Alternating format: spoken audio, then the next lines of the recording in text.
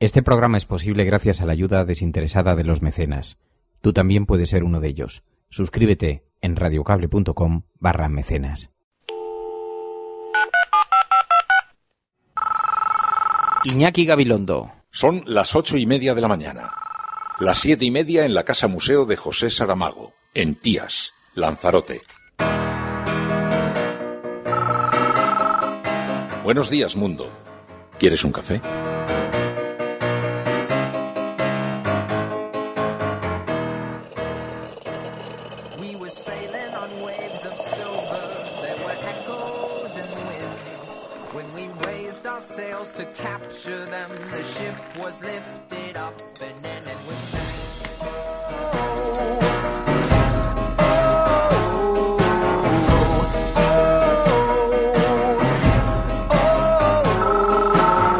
La cafetera de radiocable.com. Dirige Fernando Berlín. They play silver melodies, and the kings and queens all write their dreams on silver pages. We would read and we sing. más allá de la dialéctica propia de la campaña electoral o de un planteamiento inicial de posiciones en el que se puede hacer algún algún ejercicio pues más de, de- de diferenciación o de conflicto, deberían eh, Ciudadanos y PSOE también aceptar el resultado, aceptar el planteamiento y ser conscientes de que cuál es la aritmética parlamentaria. Eh, las opciones fueron muy diversas, desde apoyos expresos hasta el presidente del gobierno ha hablado también de la posibilidad de hacer un gobierno de coalición, ¿por qué no? Es una auténtica novedad en nuestro régimen democrático, pero también es una solución muy habitual en toda Europa. No deberíamos ser eh, la excepción y nos debería sorprender algo que es habitual en otros eh, marcos democráticos en, en Europa. que se ponga a trabajar y que lo busque y que le dé cuanto antes un gobierno a España, que es lo que tiene que hacer, pero que evidentemente entienda, comprenda y asuma que nosotros no somos cómplices de sus políticas de sufrimiento y que estamos nuestros votos están para proteger a los ciudadanos. Bueno, ciertamente el acuerdo no parece haber funcionado, porque parece haber perdido votos eh, por gente que tradicionalmente votaba Izquierda Unida y por gente que nos había votado a nosotros, que había votado a Podemos. Yo no creo que sea la única causa. Eh, y también he de decir que, que el- la decisión de esta confluencia es una decisión de la dirección de Podemos, en la que yo participo, y por tanto es una decisión colectiva pero que ciertamente en este caso parece no haber funcionado. En este caso parece de nuevo, bueno, no parece, digamos, es difícilmente contestable con las cifras en la mano, que en este caso 2 más 2 no han sumado 4, han sumado menos que por separado. También hay una exigencia muchas veces del electorado, de que no fraccionemos las opciones eh, de cambio, las opciones progresistas. Yo creo que fue una buena opción apostar por esta confluencia, eh, independientemente del resultado, porque en el fondo también había que trasladar a la ciudadanía que habíamos aprendido una lección del 20 de diciembre. No podíamos ir a unas nuevas elecciones eh, con todo igual, sin que nadie moviera ficha. Nosotros lo intentamos al menos. Intentamos decir, muy bien, ahora vamos a este electorado que suma 6 millones de votos, vamos a presentarlo en una única oferta. A ver si así mejoramos la representación de diputados y diputadas. dicho que nos tenemos que ir a la oposición, hemos sacado 85 escaños. El- la, mero hipo- la mera hipótesis de un pacto con Podemos nos ha restado mucha credibilidad. Entonces, y además creo que no hay una aritmética parlamentaria alternativa a la mayoría de derecha.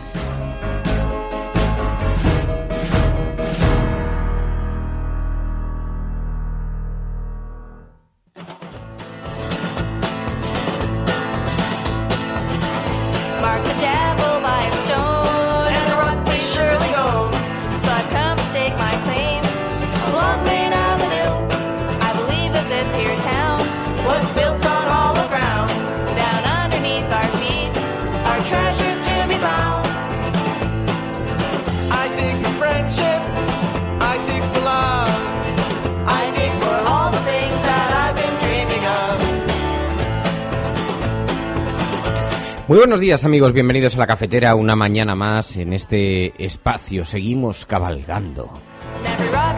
Esta canción la tengo yo anotada. Si vierais las carpetas donde pongo las canciones, pues les pongo a cada una, además del título, como muchas por el título, por el, auto- por el autor, si me tuviera que acordar de qué, de qué son, pues yo con la cabeza desastre que soy, les pongo alguna etiqueta para identificarlas eh, a un eh, en un primer vistazo cuando las veo en la carpeta. Y entonces a esta le tengo cabalgando. No me preguntes por qué, pero la primera vez que la escuché me evocó a una especie de caballo corriendo por la playa, pim pam, pim pam, pim pam, para adelante, para adelante, siempre para adelante. Pues eso.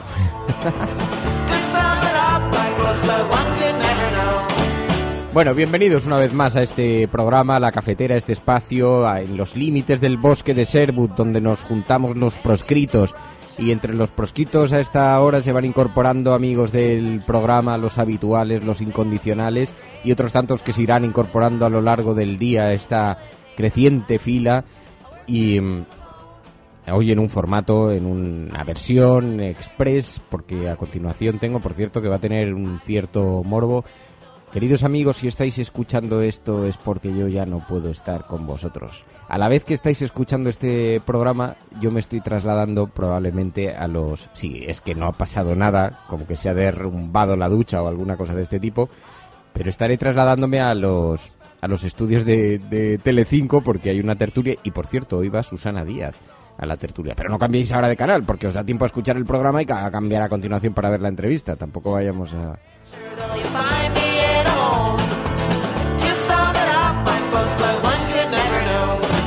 Bueno, veremos a ver qué da de sí. Un saludo muy especial para todos aquellos que habéis madrugado, que estáis escuchando el programa, que estáis participando de esa conversación que se genera a raíz de, de la emisión y que se genera en las redes sociales y en el chat de Spreaker. Y un saludo muy especial también a quienes se incorporan en diferido al mismo eh, a lo largo del día, descargándose y de la semana incluso, porque este, este programa es como un capítulo de Los Simpson que lo puedes ver y escuchar una y otra vez y da igual porque siempre tiene una conexión con el tiempo en el que estás viviendo, aunque lo escuches 20 días después. Siempre hay algo relacionado, aunque tenga claves de el día, porque las portadas que utilizamos nosotros para tratar de explicar qué es lo que le está ocurriendo a este país nos sirven como hilo conductor, pero en realidad también describen un, un momento, ¿no? Así que, bueno, muchas gracias a todos, un saludo para nuestros expatriados, nuestros emigrantes, para todos aquellos que tuvieron que abandonar su país, fuera el que fuera, y que hoy se encuentran en otro lugar y este programa les sirve como elemento de compañía. Estás escuchando la cafetera y si lo estás haciendo, eres la resistencia, no estás solo.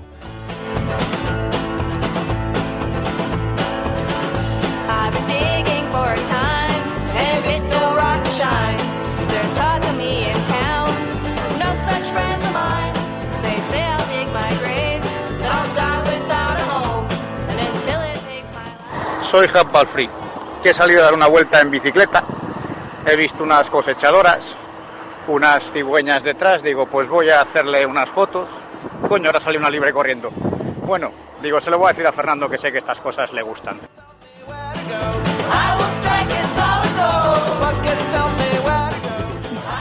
Lo que más me gusta de más Hub Balfree no, no es solamente que ya nos conocemos todos mucho y que se ha generado un clima muy especial aquí en el programa, pero por ejemplo de estos mensajes de, oye, estoy haciendo tal, que sé que estas cosas te gustan.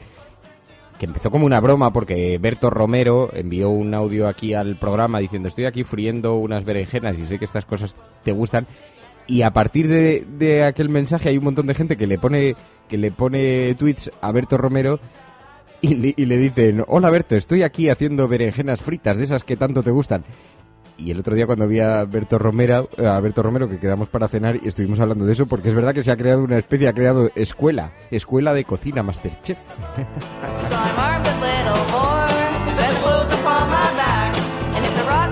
Pero me gusta mucho Hub porque sí que es verdad que, que, claro, yo el- el- ya lo he contado varias veces, ¿no? Pero yo el teléfono me lo subo por las noches para escuchar los programas, seleccionar algunos de los mensajes que han llegado a lo largo de la noche o por el día fuera del programa para intentar incluirlos al día siguiente, los que los que nos dé tiempo y los que me voy acordando, ¿no? Y es verdad que es una varita mágica contra la depresión por lo majos, por los simpáticos que sois y por el cariño que ponéis en esos en esos mensajes, porque estoy por la noche escuchándolos y me identifico tanto con las personas que los van dejando que me, que me gusta muchísimo hacerlo. Así que muchísimas gracias a todos por participar.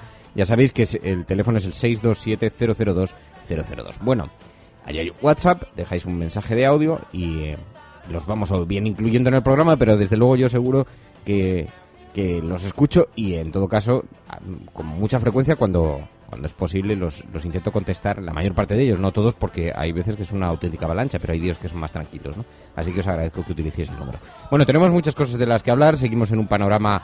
eh, complejo en lo político, todavía sin nada concreto, sin nada concretado, en el que se va a abrir un espacio para los pactos, también en un contexto internacional bien singular.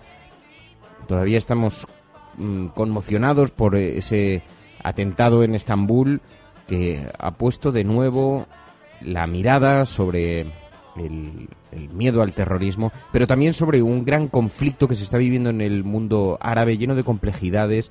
Yo creo que esto es muy, muy, muy relevante. Hoy vamos a hablar con el coronel Pedro Baños, que sabéis que es un experto en geoestrategia, en política internacional y al que siempre recurrimos y pedimos ayuda cuando necesitamos explicar eh, estos acontecimientos tan complejos que tienen tantas aristas, tantos perfiles y que sin embargo aquí se explican de forma muy sencilla desde las páginas de los periódicos o las tertulias políticas o incluso desde eh, los círculos políticos, ¿no? Y, y la realidad es que el problema al que nos estamos enfrentando, este asunto al que nos estamos enfrentando, esta gran batalla en el mundo árabe que se está viviendo del ISIS contra Al Qaeda, de Irán contra Arabia Saudí, tiene, es de una enorme complejidad y no se pueden aportar soluciones sencillas como está haciendo eh, la clase política, ¿no? Tratando de presentar, por ejemplo, el pacto antiyihadismo como la respuesta a un asunto que es muchísimo más complejo, que tiene razones geoestratégicas, identitarias, que tiene una complejidad enorme de, de- de perfiles, como digo. Así que vamos a, vamos a hablar con Pedro Baños a continuación, en unos segundos, para que nos trate de explicar qué es lo que le está ocurriendo, qué está ocurriendo en esta parte del mundo árabe. Estás escuchando la cafetera. The. Fish are jumping. Your daddy Lo que pasa es que como telón de fondo hay noticias locales eh, referidas a España a esos pactos y también supranacionales, algunas referidas también a, a lo que se está viviendo en el Reino Unido en su relación con la Unión Europea y, y a Escocia, porque hay algunas voces que están pidiendo desde Escocia la incorporación unilateral de ese país a la Unión Europea, eh, saltándose el veto del Reino Unido. Y a partir de ahí Imaginaos, se ha creado una, una situación muy paradójica sobre la que se están pronunciando los países. Primero, la negociación con el Reino Unido. ¿En qué términos se va a producir? Se va a producir en un clima de tensión y en, en términos de disputa o se va a producir en una clave diplomática que ayude a resolver el, el problema. Como algunos países, entre los que se encuentran España, ven ciertos paralelismos con sus problemas internos, pues están vetando cualquier posible incorporación pacífica dado que ellos han elegido salirse. Pero es que cuando digo pacífica me refiero a sin inconvenientes, ¿no? Pero ahora se le ha sumado todo este asunto de Escocia y nos encontramos, por ejemplo, hoy es portada del periódico El Mundo, ¿eh? Nos encontramos, dice, España y Francia vetan que Escocia negocie su independencia con la Unión Europea. Rajoy afirma en Bruselas que las competencias de Escocia para negociar eso son ninguna y la negociación se hará con el Reino Unido y no con una parte del Reino Unido, ha dicho Hollande. Pero en todo caso, fijaos, hay una paradoja que se ha dado, porque ahora, además de tener esta eh, negociación con el Reino Unido para ver en qué condiciones incorpora la Unión Europea o en qué condiciones mantiene su grado de relación con la Unión Europea, que eso ya creaba un paralelismo con nuestro país en- ante una posible ruptura con Cataluña, se suma esto de Escocia, ¿no? Bueno, de momento ya hemos escuchado a Mariano Rajoy diciendo que las relaciones con el Reino Unido, entre la Unión Europea y el Reino Unido, debían negociarse y debían eh, perseguirse en clave diplomática, es decir, buscando el bien común, el bien de todos, dando por hecho que se va a producir. Que eso ya, si lo establecemos junto al discurso de Cataluña, hay una cierta incoherencia, porque vendría a ser exactamente lo mismo que están pidiendo eh, los sectores más independentistas de Cataluña cuando hablaban, por ejemplo, de su fórmula de incorporación a la Unión Europea. Pero, en fin, ahora como ha surgido, como ha emergido este asunto de Escocia, pues entonces permite que la política se parapete bajo ese nombre para no explicar que también en la relación con el Reino Unido se situaría un, un frente similar, ¿no? Bueno, eso nos lo encontramos en la portada del periódico El Mundo. También el nacionalismo convierte la destitución de De Alfonso en una soflama contra España. Hay que decir que les hemos dado motivos muy... Esto era, era algo que incluso desde Ciudadanos le reprocharon al, al gobierno de Mariano Rajoy, ¿no?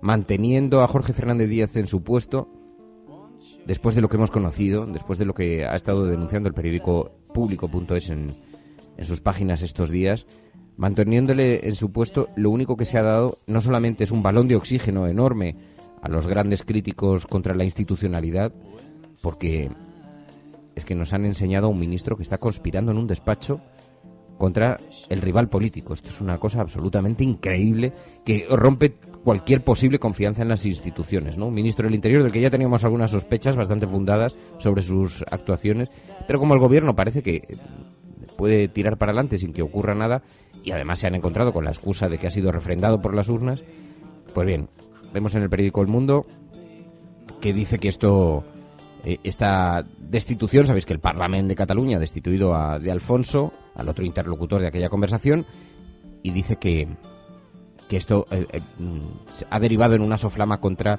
España. Periódico El Mundo en su portada. Y hay un asunto que se repite en todas las páginas. Había puesto un tuit eh, esta mañana. A mí me pareció muy interesante porque resulta que después de la entrevista aquí de Juan Carlos Monedero esta misma semana, sabéis que el lunes hablamos con Juan Carlos Monedero y realizó aquí unas declaraciones sobre lo que consideraba habían sido los principales errores de Podemos. Citaba muchas cosas, pero entre otras aludía a la forma en la que se había encarado la campaña. ¿no? Venía a decir incluso que a, a Pablo Iglesias lo habían contenido como un león enjaulado. Estas eh, declaraciones tuvieron bastante repercusión en la prensa porque, aunque después él las reescribió en su blog y tuvo alguna comparecencia más en los medios, pero el hecho de que apareciera aquí a las ocho y media de la mañana hizo que lo recogiesen varias agencias de noticias y algún programa de televisión también, alguna tertulia de televisión, que las han repetido a lo largo de estos días, ¿no? Lo vimos con Al Rojo Vivo, por ejemplo, lo habéis visto en el intermedio, etcétera. Bueno, pues el caso es que esas declaraciones eh, provocaron una auténtica polvareda porque eh, vamos a explicar las claves. Ah, Habrá mucha gente que las comprenda porque conozca bien el funcionamiento de Podemos y las disputas internas, pero hay, hay gente que está más al margen de esto, ¿no? Resulta que hay un enfrentamiento tradicional, histórico, entre Juan Carlos Monedero y también Íñigo Errejón. Íñigo Errejón ha sido el responsable de la campaña, así que esas críticas veladas a la campaña de mm, eh, Juan Carlos Monedero pues han impactado directamente contra Íñigo Errejón, ¿no?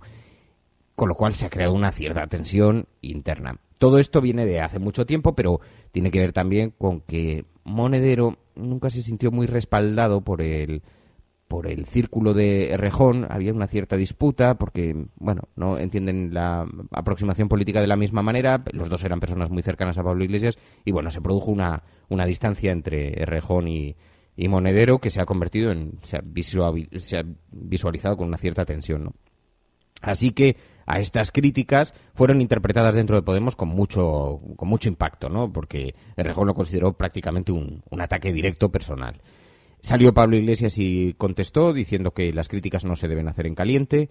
Salió después, salieron algunos miembros de Podemos en esa misma dirección. Y como además hubo otras personas que también, Mónica Oltra y algunas otras personas que también eh, abrieron un poco el debate sobre qué podía haber fallado, eh, desde Podemos se ha pedido que se trate de no dar alas a los eh, rivales, tanto mediáticos como políticos, intentando hacer ese discurso en privado y no en público, no en los medios de comunicación. Y Echenique envió un mensaje al Consejo Ciudadano a través de WhatsApp muy duro, donde hablaba incluso de quitar, cortar las malas hierbas y decía las malas hierbas serán extirpadas. La verdad es que la reflexión de Chenique eh, la ha explicado después con un mensaje en Facebook. Yo lo he retuiteado porque es muy interesante, porque además de describir lo que está pasando en Podemos, describe lo que ocurre en cualquier grupo humano, ¿no? Cómo hay gente que está más preocupado de defender públicamente, más allá de las ideas, de defender públicamente asuntos personales y cómo convierte cualquier discusión en un asunto absolutamente personal, ¿no? A mí me ha- la verdad es que me ha parecido muy interesante porque es una descripción de cómo funcionamos las, las personas que es que es que es, eh, que es muy afinada, ¿no? Muy dice, hay una forma de funcionar en las organizaciones políticas y en la vida en general, dice Pablo Echenique, que tiene que ver con escuchar más y hablar menos, con empatizar con el otro, con cuidarse, con quererse, con apostar por los argumentos y las ideas, con incluir a todo el mundo, con cooperar, con dar en vez de pedir, con preguntarse qué puede uno hacer para mejorar las cosas y poner en segundo lugar el propio beneficio, y esa es la forma mayoritaria de funcionar en Podemos, dice Pablo Echenique, ¿no? Y la que yo reivindico. Pero hay otra forma de funcionar en las organizaciones políticas y en la vida en general. que se basa en hablar mucho y escuchar poco, que solo entiende las propias razones, que olvida los cuidados, que lo lleva todo a lo personal, que excluye y que veta, que pide siempre y no da nunca, que confronta y enfrenta a las personas casi como modo de vida. Dice, es una forma mm, minoritaria en Podemos, dice, pero yo estoy orgulloso de que sea así, y dice, porque si no fuera así yo no estaría en Podemos, y esa es la forma que hay que quitar de Podemos, que hay que eliminar de Podemos, ¿no? Y mm, dice, si lo tuviera que resumir todo esto en una frase, diría, todas las personas son bienvenidas en Podemos, pero no todas las actitudes lo son. Bueno, pues al hilo de eso, sabéis que envió, como digo, un mensaje al círculo, al Consejo de Ciudadano, diciendo que serían extirpadas. Bueno, pues se ha convertido ese mensaje, se ha convertido en objeto, motivo de portada en un montón de periódicos, porque ha sido filtrado y entonces nos encontramos con que en la portada del periódico El Mundo dice Echenique amenaza con purgar las malas hierbas de Podemos. La crisis interna de la formación obliga a convocar un congreso extraordinario, dice el periódico La Razón purga en Podemos. Las malas hierbas serán extirpadas. Echenique verbaliza la guerra entre errejonistas y pablistas, dice. También en, en la portada de La Razón, el periódico El País. Podemos extirpar las malas hierbas para parar las guerras internas, dice el periódico El País. También ABC dice, Errejón recrudece la crisis de Podemos al pedir la revisión del acuerdo con Izquierda Unida, porque a todo esto también nos hemos encontrado con que Errejón, que ha hecho algunas declaraciones, nos hemos encontrado como decía, igual el pacto con Izquierda Unida había fallado.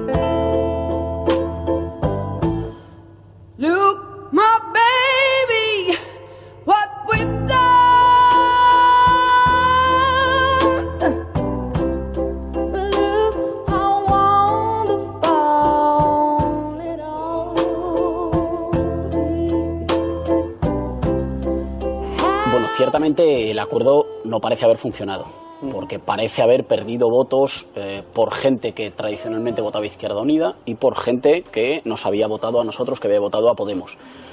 Yo no creo que sea la única causa. Eh, y también he de decir que, que el- la decisión de esta confluencia es una decisión de la dirección de Podemos, en la que yo participo, y por tanto es una decisión colectiva pero que ciertamente en este caso parece no haber funcionado. En este caso parece de nuevo, bueno, no parece, digamos, es difícilmente contestable con las cifras en la mano, que en este caso 2 más 2 no han sumado 4, han sumado menos que por separado.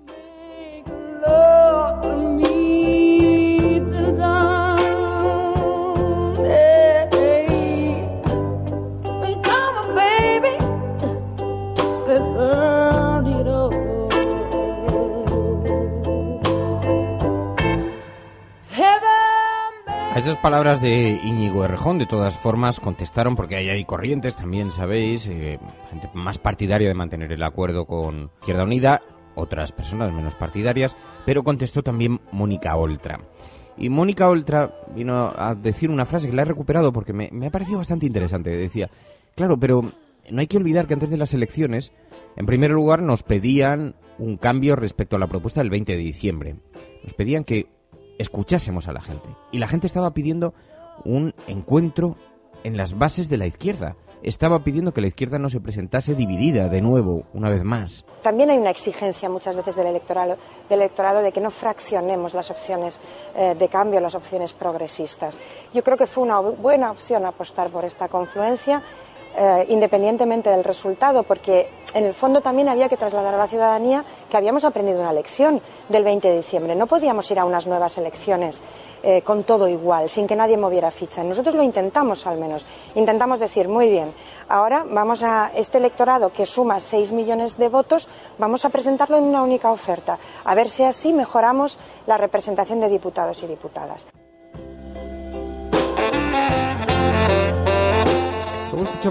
Eh, Es verdad que es muy pronto todavía para saber qué es lo que ha ocurrido en las elecciones.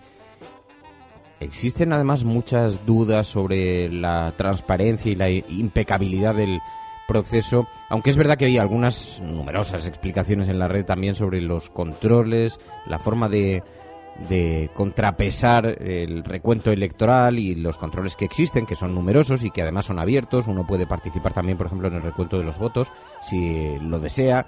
Así que, en fin, pero bueno, en todo caso lo que es verdad es que el debate existe, lo habéis visto en, en la red. Y más allá de eso, todavía es quizá pronto para saber exactamente qué es lo que ha ocurrido, porque hay cerca de un millón de votos que han desaparecido, ¿no? Han desaparecido del, eh, de ese electorado de izquierdas, o bien han decidido abstenerse, o bien directamente han desaparecido por, por arte de... no sabemos muy bien cuál, por artes de alguien. Pero el caso es que nos encontramos con que, quizás siendo pronto, pero sí hay algunas explicaciones que se pueden ir aportando, como decía Mónica Oltra. Y escuchamos, por ejemplo, a Maillo también desde Izquierda Unida Andalucía, que hacía una reflexión al hilo de esto. Y ya le digo que estamos haciendo una- un análisis de cuál ha sido el comportamiento. Y es verdad que tendremos que escuchar a quienes han estado remisos a votarnos en estas elecciones. Hay que escuchar, hay que saber las razones. Eh, y hay que abordar si la precipitación, si los cambios de discurso, de pronto éramos extrema izquierda y de pronto éramos socialdemócratas, de pronto... Quiero decir, eh, habrá que valorar todo. Y yo creo que eh, a, a- realidades complejas hay que buscar soluciones y respuestas complejas, que no hay una sola, ¿no?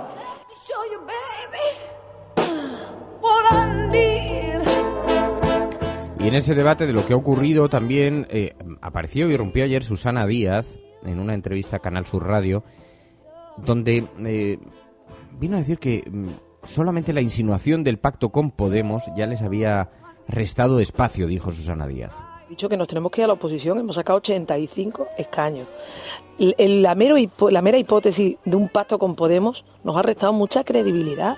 Entonces, y además creo que no hay una aritmética parlamentaria alternativa a la mayoría de derecha. Yo diría más bien que la forma en la que se ha enfocado el- un eventual pacto con Podemos es lo que ha restado eh, la credibilidad, no tanto el hecho de haberlo podido proponer. Pero eso es una impresión mía, no, no tengo más datos que, las, que la impresión empírica, ¿no? De este asunto. También se mostró muy preocupada ayer precisamente Ada Colau, dijo, es que este ascenso del Partido Popular en Cataluña es dramático, ¿no? Porque tiene consecuencias directas sobre la vida de las personas, que es algo que parece no haberse entendido todavía. encara que a Catalunya guanyin les forces d'esquerres, evidentment crec que la gent d'esquerres hem d'estar tristos per la victòria del Partit Popular arreu de l'Estat. I ho hem d'estar per molts motius, però sobretot amb dues claus, amb clau ètica i amb clau política. No? Uh, jo crec que no hi ha política d'esquerra sense ètica i, i és que és molt el que està en joc. No? I està en joc la vida de la gent. Aleshores, per aquells que hem practicat la fraternitat a peu de carrer, aturant desnonaments, defensar la sanitat, l'educació pública, amb l'aliança no? fraterna dels pobles de l'Estat, sabem no? que, que el que està en joc, sabem les vides que estan en joc i per tant eh, no ens podem desentendre des de Catalunya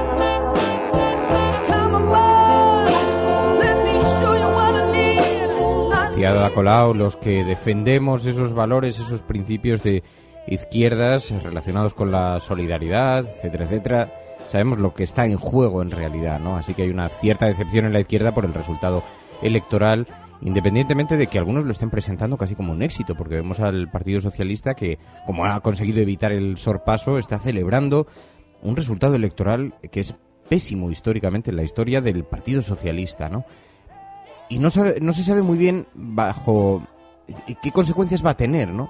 Bajo qué prisma van a abordar las negociaciones que se abren ahora, porque estamos viendo, estoy viendo la, la portada de La Voz de Galicia que dice Rajoy hablará hoy con Sánchez para ofrecerle un pacto de gobierno, los varones socialistas divididos sobre si facilitar la investidura, Echenique amenaza a los críticos con extirpar las malas hierbas, dice La Voz de Galicia, y es verdad que el Partido Socialista está presentando el resultado electoral como una conquista, pero la gran pregunta que no terminan de responder es ¿qué van a hacer el PSOE? ¿Se va a abstener? Desde la dirección de Ferraz dicen que ni abstención, ni voto a favor, ni desde luego mantener a Mariano Rajoy. Pero paralelamente terminan añadiendo, bueno, que Rajoy busque los apoyos, porque terceras elecciones no va a haber.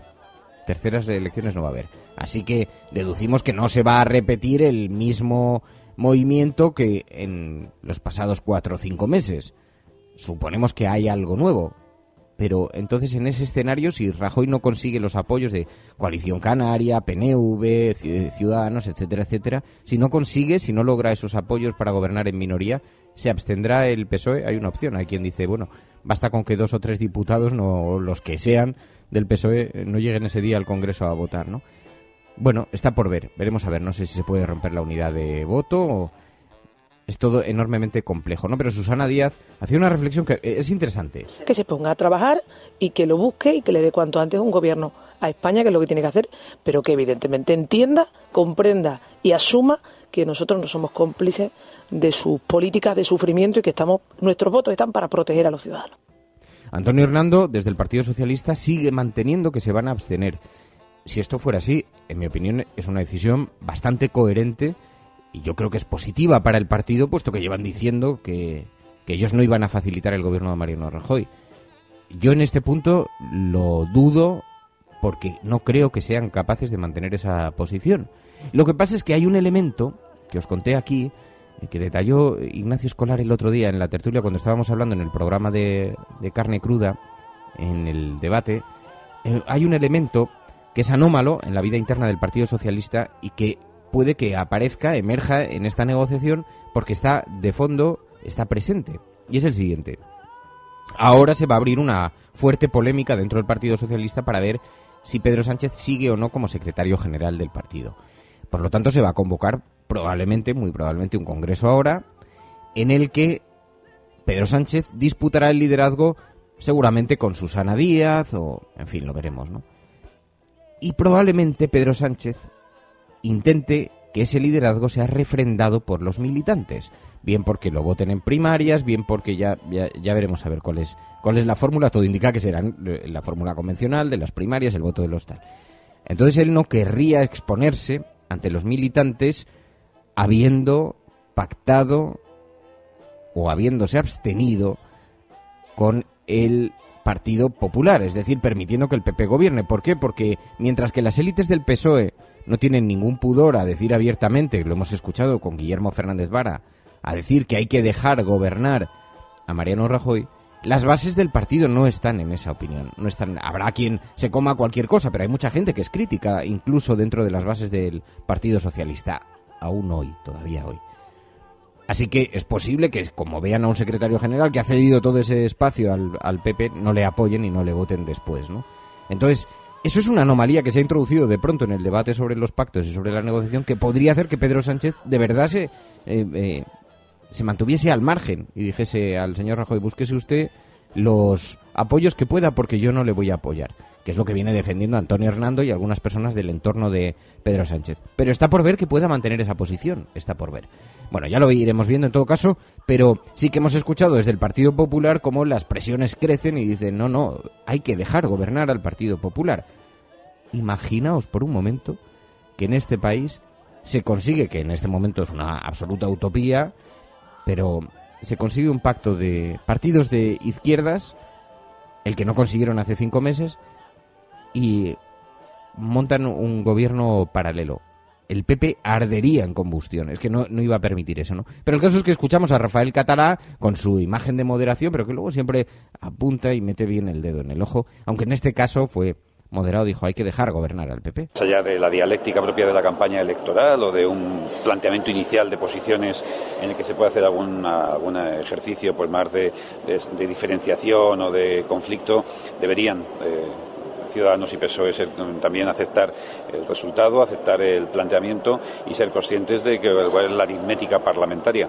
Eh, las opciones fueron muy diversas, desde apoyos expresos hasta el presidente del Gobierno ha hablado también de la posibilidad de hacer un gobierno de coalición, ¿por qué no? Es una auténtica novedad en nuestro régimen democrático, pero también es una solución muy habitual en toda Europa. No deberíamos ser eh, la excepción y nos debería sorprender algo que es habitual en otros marcos democráticos en Europa.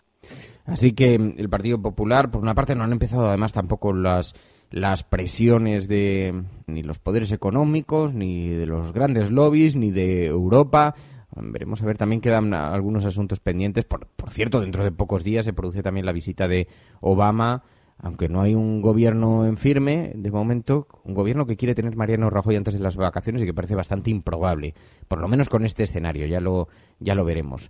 En fin, todo esto en un mundo que es cada vez más complejo, que está, como decía al principio, lleno de aristas, de dificultades y convulso en lo político, en lo estratégico, en lo geoestratégico, donde todavía como telón de fondo resueltan esas bombas, esos esos terroristas suicidas en el, en el aeropuerto de Turquía y que tienen la mirada al, al planeta con la mirada puesta en este conflicto que se está viviendo en Oriente Medio. Hablamos con Pedro Baños.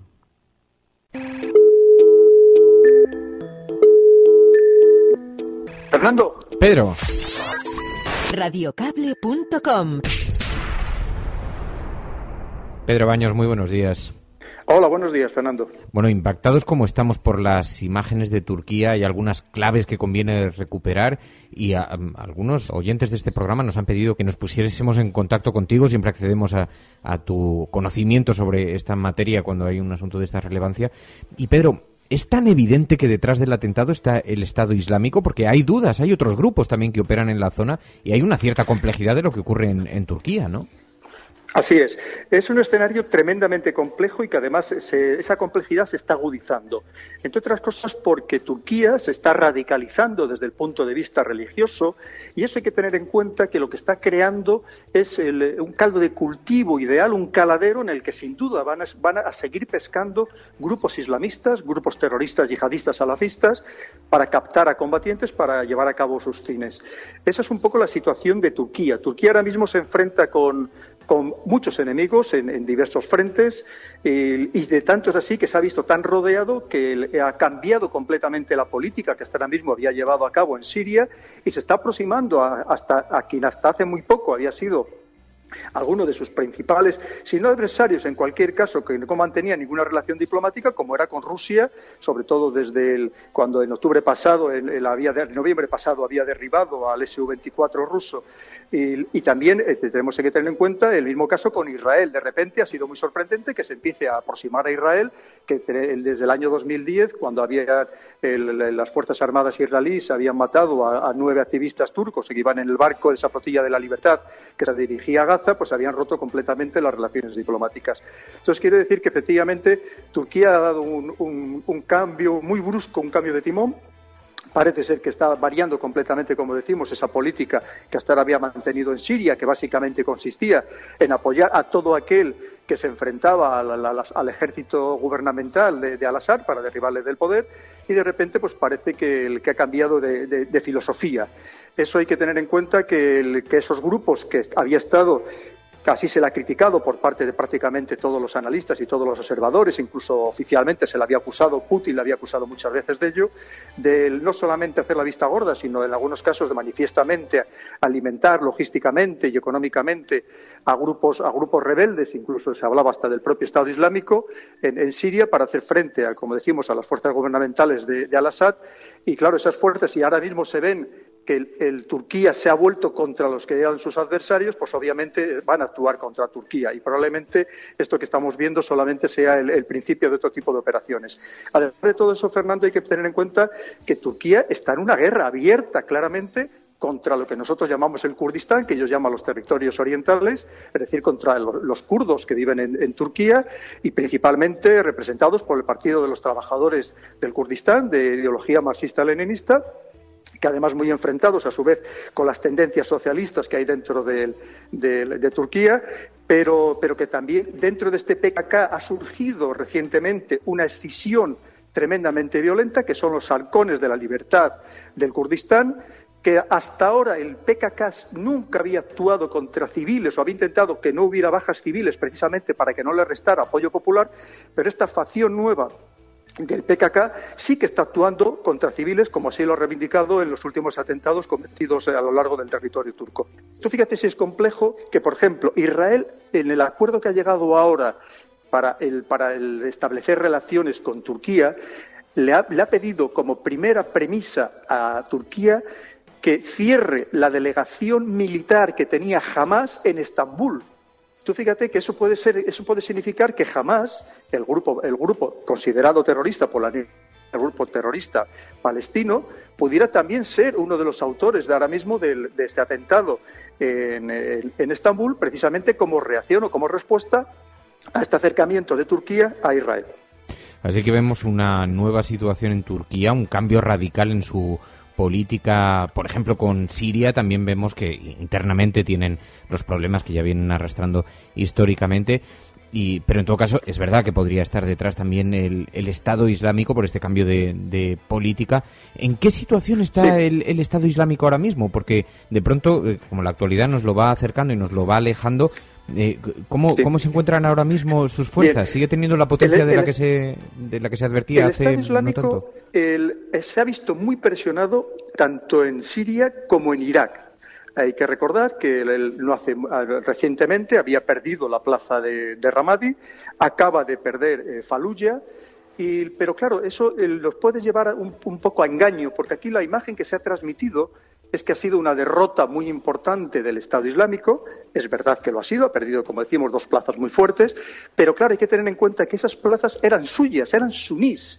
Y, y la realidad, cuando hablamos de ese éxodo que aquí prácticamente nos ha comentado, un éxodo de miles, de, de decenas de miles de personas que ha tenido que huir de su domicilio precisamente por esa recuperación por parte de las fuerzas gubernamentales iraquíes y de las milicias chiitas de esos dos plazas sunís, hay que tener en cuenta que esas personas huían principalmente no del Estado Islámico, sino precisamente de las fuerzas que venían avanzando, que eran todas chiís. Con lo cual, lo que estamos hablando es que el, el problema, una vez más, y creo que lo hemos comentado alguna vez, Fernando, el problema no se va a solucionar atacando militarmente. Si no se entiende el por qué ha surgido el Estado Islámico, que solamente es un, síntoma de causas mucho más profundas, nunca se va a poner coto al problema, nunca se va a solucionar verdaderamente unas, unas situaciones que están tremendamente enraizadas y enquistadas en la sociedad iraquí y siria. Es- e independientemente de eso, es verdad que el Estado Islámico ha ido perdiendo terreno, ha ido perdiendo fuerzas y, por lo tanto, un atentado de esta naturaleza que tiene gran repercusión, como estamos viendo, porque afecta también a extranjeros, afecta al turismo, con lo cual afecta pues, a, muchos países y, por lo tanto, tiene mucha repercusión y eso le beneficia. Hay algo que me llama la atención porque efectivamente, y cuando hablo contigo siempre tengo un poco esta percepción, esta sensación, estamos hablando de un problema enormemente complejo que siempre se explica de una forma muy sencilla eh, cuando los políticos buscan eh, explicaciones y eh, razonamientos y soluciones, pero en realidad hay tal complejidad detrás. Estamos viendo como telón de fondo también un gran enfrentamiento entre Arabia Saudí e Irán. Y, todo esto no, como dices tú, parece difícil que se pueda solucionar desde una perspectiva exclusivamente militar. Pero, Pedro, ¿hay alguna posibilidad de solución a este enorme conflicto en el mundo árabe? Mira, como dicen en diplomacia, hay problemas que son irresolubles y hay que vivir con ellos. No obstante, el- insisto una vez más, que si hay una, una posibilidad de solucionarlo, Fernando, es a través de la vía diplomática, a través de la negociación. Como bien has dicho, ahora mismo hay que pensar cómo lo está viendo esto, por ejemplo, el mundo suní, representado principalmente por los países del Golfo y sobre todo por Arabia Saudí. Lo como lo están viendo es que se le está dando ahora mismo, digamos, ciertas alas a Irán, que se está haciendo en cierto modo con el control completo de, de Irak, pero no solamente de Irak, sigue manteniendo en el poder también directa e indirectamente apoyando al régimen de Al-Assad, sigue manteniendo su influencia en Siria, cada vez tiene más poder el- en el Líbano, que siempre lo ha tenido a través de Hezbollah, chiita, pero cada vez lo tiene mayor. Hay que tener en cuenta el conflicto que se nos olvida todos los días, los cientos de personas que mueren en Yemen, en un conflicto donde este, participa activamente una coalición liderada por Arabia Saudí contra los huitus, hutus chiitas y no pueden con ellos. El- entonces quiere decir que el Arabia Saudí, como se ve, es rodeada y además rodeada y que está perdiendo lo que había sido su colchón estratégico para defenderse frente a Irán, que había sido Irak. Si vemos el mapa, Irak estaba justo entre los dos países. Si ahora lo pierde, lo que se está forzando es Arabia Saudí a ser todavía mucho más dinámica en sus acciones para hacer frente a esa expansión del mundo chiita. Y ese, ese enfrentamiento que lleva, que lleva siglos, desde luego no lo vamos a parar, desde luego con la fuerza de las armas. Eh, Me llama la atención esto que dices, porque efectivamente diálogo, pacto y negociación en unas circunstancias tremendamente ad- adversas, pero hay unas palabras a las que no se le, das no se le da mucha importancia de David Petraeus, el ex jefe de la CIA, que llegó a decir que cabía el escenario de buscar una suerte de alianza con Al Qaeda el autor del, de- del atentado de las Torres Gemelas en Estados Unidos y decía, para luchar contra el ISIS. ¿Eso es un escenario real? Porque yo lo he preguntado estos días y la gente me miraba un poco de, de forma como un marciano, pero la realidad es que él vino a insinuar este, este escenario. ¿Es un escenario posible que Estados Unidos termine aliándose contra, con Al Qaeda para luchar contra el ISIS? El, eh, fíjate, a mí me parece absolutamente descabellado, de- después de todos los esfuerzos que ha hecho desde el año 2000, 2001 Estados Unidos para intentar acabar con Al Qaeda, que no solamente no ha acabado, sino que es mucho más fuerte actualmente que lo que era en el año 2001, que se llegara a, a ese punto de negociación.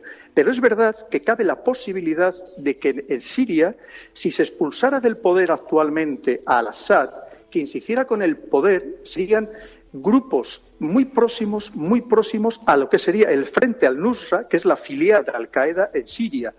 Porque hay, esto que viene de, de los antiguos hermanos musulmanes que ya estaban en Siria, estamos hablando desde los años 20, los años 30, los años 40, muy activos, con muchísimos atentados, con decapitaciones, el- con, con- con atentados, con suicidas, con, exp- con explosivos.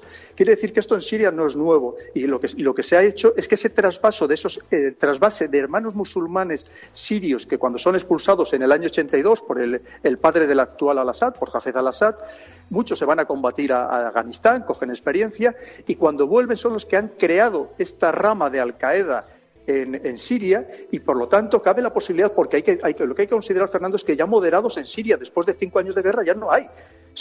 Las posiciones se han radicalizado enormemente y muchos se han radicalizado siguiendo las, precisamente las teorías de los ideólogos próximos a Al Qaeda. Con lo cual, cabe la posibilidad de que si ahora mismo se depusiera de una manera rápida y precipitada al Assad del poder, quien se hiciera cargo del poder en- en- en Siria fuera precisamente los, los más próximos ideológicamente a Al Qaeda. Pues Pedro Baños, Pedro, es siempre un gusto hablar contigo, te lo agradezco muchísimo, Pedro, muy buenos días y mucha suerte.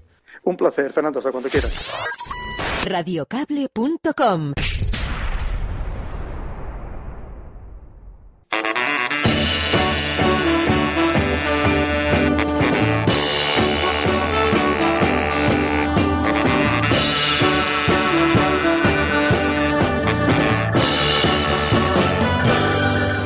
Bueno, pues así nos vamos a marchar. Muchísimas gracias a todos por vuestra compañía. Es fascinante el fenómeno que, ha, que, ha gener- que se ha generado en torno al, programa. Hay diferentes grupos que se relacionan, hay gente que hace quedadas. eh, hay por lo menos, tengo identificados por lo menos cinco o seis, seis grupos diferentes de personas que, que se han ido aglutinando en torno a la cafetera, ¿no? Y eh, unos los tienen grupos en WhatsApp, otros hay otro grupo muy importante en Telegram también, en Twitter hay varios también, en, por grupos privados, y, y me parece un fenómeno fascinante, ¿no? Y hay algo que se repite en numerosas ocasiones y que describe muy bien lo que ha ocurrido aquí, ¿no? Que de alguna forma nos hemos encontrado que nuestros plante- planteamientos sobre la política, sobre la vida, son compartidos por mucha gente. Porque eh, hay- alguien lo definió maravillosamente en el, en el WhatsApp del programa que dijo, es que hasta, hasta ahora me sentía eh, bastante solo cuando veía la tele y decía, ¿cómo es posible que estén eh, enfrentando esta conversación bajo ese prisma, bajo esa óptica? Y de pronto me he encontrado con que en la cafetera hay un montón de gente que comparte mi forma de entender el mundo, la forma de verlo. Estábamos por todas partes, pero estábamos desconectados. Y este programa se ha convertido en una suerte de gran epicentro, ¿no? Así que muchísimas gracias a todos por hacerlo posible cada mañana. Cada oyente es trascendental, es importantísimo, puede ayudar de diversas maneras al programa. Tu colaboración es importante. Ayúdanos retuiteando la dirección de este programa. Hagamos que se nos oiga. Hagamos que se nos conozca. Radiocable.com Hay numerosas formas de ayudar, ayudando a que otras personas se puedan incorporar, conozcan el programa, retuiteando la dirección y por supuesto un abrazo muy especial también a todos aquellos que estáis haciendo un gran esfuerzo. Lo sabemos, somos perfectamente conscientes y que os habéis sumado a la comunidad de mecenas del programa. Estáis aportando una suscripción mensual de 8 euros, no es una broma, es una cantidad que sabemos es importante para que el proyecto continúe y os lo agradecemos. Estamos ya en 440 personas, 440 mecenas, algunos de los cuales además han adelantado eh, todo el año, de manera que nos permite también eh, garantizar una cierta continuidad. El equilibrio perfecto se va a situar en torno a mil suscriptores, ya lo conté aquí el primer día. pero 440 personas ya es una comunidad de muy poco tiempo, así que es muy probable que lleguemos a, a las mil personas en breve. Os lo agradecemos de verdad de corazón, de corazón, porque estamos construyendo algo muy interesante. Estás escuchando la cafetera. Si lo estás haciendo, eres la resistencia y no estás sola. Mañana más, mañana volvemos. Adiós. Hasta mañana.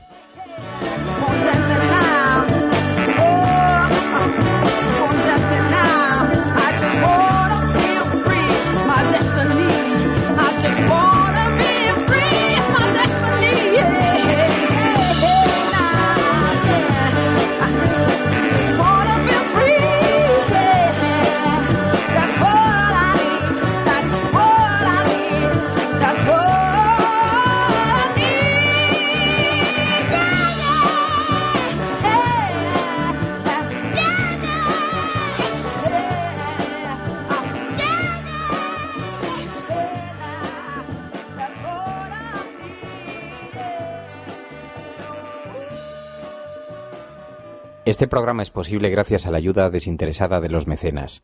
Tú también puedes ser uno de ellos. Suscríbete en radiocable.com barra mecenas.